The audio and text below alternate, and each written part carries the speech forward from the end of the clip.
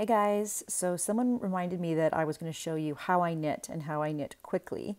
And so I knit using continental combination knitting. So the first thing I do is I tension my yarn around my pinky and around my forefinger, and that kind of creates like a pulley of, of yarn.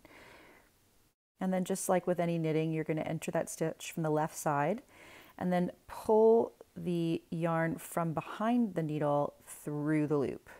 So you're just kind of catching it behind and pulling it through. Sometimes I kind of um, rotate my forefinger forward to make it easier to catch, but it's not even really necessary. And yeah, so that's pretty much just like regular knitting. This is just straight continental knitting. Um, the combination part doesn't come in until later, but I can get a pretty good clip going, um, especially when I don't have an iPad in my lap that I'm trying to work around but that is continental knitting. Now, in essentially, I used to be a thrower, um, but I found that it was really hard on my hands. And when I started practicing continental, it was just a really good fit. So now we have to purl back. And again, I tension my yarn. Now, purling is something people usually don't enjoy because it's a really awkward movement. So you enter the stitch like that and you have to kind of twist around and pull out and it's really kind of awkward. And the way you do it in combination knitting is you just kind of do the same thing with the yarn in front that you did with a, with a, a knit. You enter from the right and then just hook around and pull it through. Again, a very simple, simple movement. And the funny thing is, is my grandmother, who's 92, I remember a couple years ago watching her knit and taking a video. And this is when I was just doing straight continental knitting and was doing that sort of flick of the wrist twisted movement every time I was doing a purl. And um, I remember noticing and going, that's interesting, like the way she purled. And she watched me and she said, Why are you making it so difficult? Why don't you just go through exactly like what you're seeing now? And I said, Well, Grandma, doesn't that twist the stitch?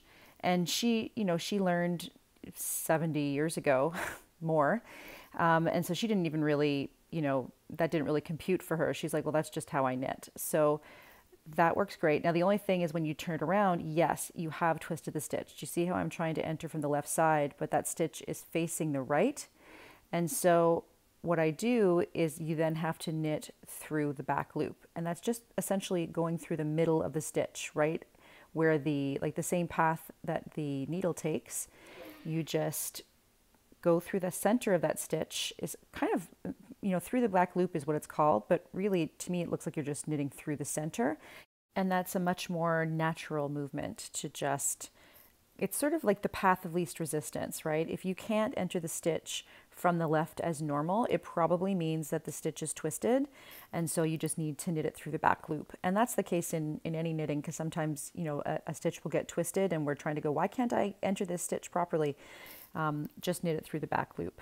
So this here now I'm just purling back. And the last thing I'm going to show you is I'm going to show you how I do um, ribbing. And it's more just showing you after a purl row where the stitches are twisted, it's about reading your knitting. So you need to look in that stitch, feel that stitch, and figure out what is the best way to enter that stitch.